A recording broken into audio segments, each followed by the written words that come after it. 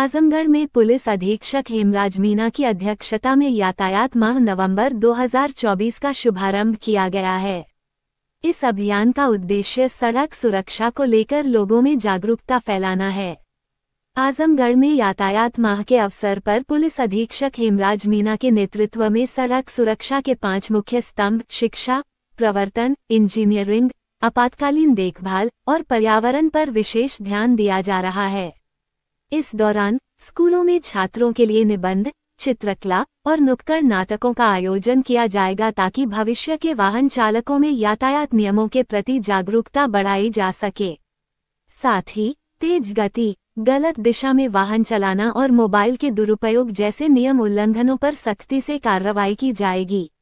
Engineering सुधार के तहत हाईवे और एक्सप्रेसवे पर ब्लैक स्पॉट चिन्हित किए जा रहे हैं। अवैध कट्स बंद कराए जाएँगे। और संकेतक लगाए जाएँगे।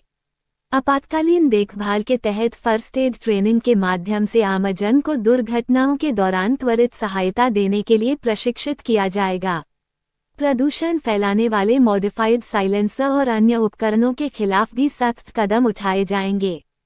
यातायात माह के शुभारंभ पर पुलिस अधीक्षक ने जागरूकता रैली को हरी झंडी दिखाकर रवाना किया।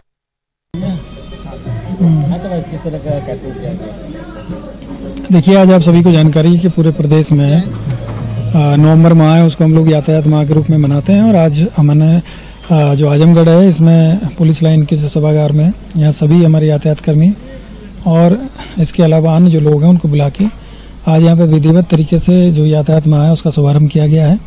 और आज से दो तरह के कार्यक्रम, एक इन्फोर्समेंट के कार्यक्रम और दूसरे अवेयरनेस के जो कार्यक्रम है वो जिला पुलिस के द्वारा और यातायात पुलिस के द्वारा किए जाएँगे, जिसमें लोगों को ट्रैफ़िक नियमों के बारे में जानकारी भी दी जाएगी।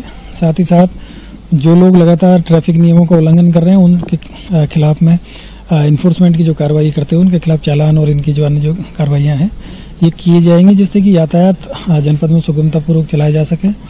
और साथ ही साथ जो सड़क दुर्घटनाएँ हैं, उनमें कमी लाई जा सके। इसमें विशेष तौर से ये ये दो चीज़ों को लेकर ये जो अभियान है एक महीने का शासन स्तर से चलाया जा रहा है और जो कि जनपद में आज इसका हम लोगों ने शुभारंभ किया है।